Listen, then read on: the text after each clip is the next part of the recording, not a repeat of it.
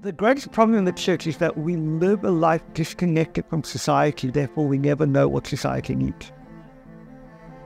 And so we're preaching a message trying to answer a question that no one else is asking. Prophets help locate the question that people are asking so we can provide the solutions. There has got to be something burning within us that requires from us the inconvenience of his presence. That when the priests of old say, What did he say? we tell the truth. That we don't flatter you, that we don't impress through our words what God wants to change by his Spirit.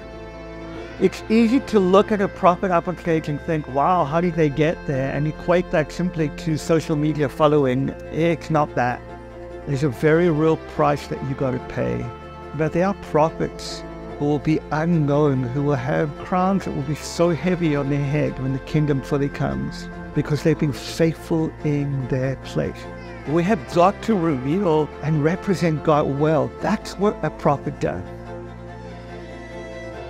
The role of the prophet, as Walter Brueggemann says, is to provoke a society that has become anesthetized to feelings and to help them connect again to their feelings. Not medicate their feelings, not therapy their feelings away, but connect into it because it's in the discomfort of your feeling that prophetic imagination is unlocked.